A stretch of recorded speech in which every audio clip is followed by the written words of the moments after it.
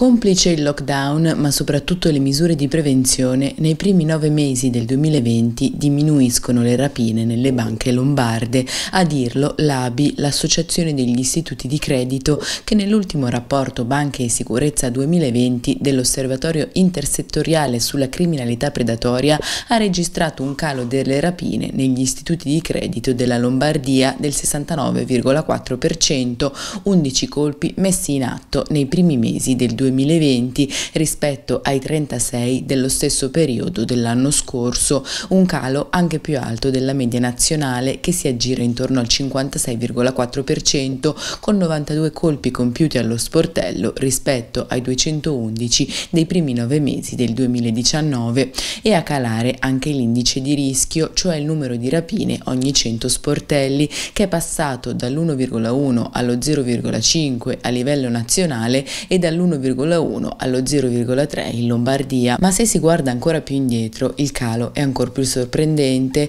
In Italia tra il 2007 e il 2019 infatti le rapine allo sportello sono diminuite del 92%, passando dalle 3.364 del 2007 alle 272 del 2019. In tema di sicurezza, ha detto il direttore generale dell'ABI Giovanni Sabatini, si stanno ottenendo risultati molto importanti dopo ingenti e continui investimenti delle banche anche in sicurezza e con la sempre più stretta collaborazione e il continuo scambio di dati e informazioni tra banche, istituzioni e forze dell'ordine. La pandemia in atto ha anche evidenziato il direttore centrale della Polizia Criminale Rizzi ha imposto un cambio di passo. Le forze di polizia hanno saputo cogliere senza riserve questa nuova sfida individuando le nuove tendenze e i modelli criminali emergenti. Per quanto riguarda i numeri della Lombardia, i ben otto province Lecce, Monza, Brescia, Cremona, Lecco, Lodi, Mantova, Sondrio e Pavia non si è registrato nessun colpo in banca, mentre l'anno scorso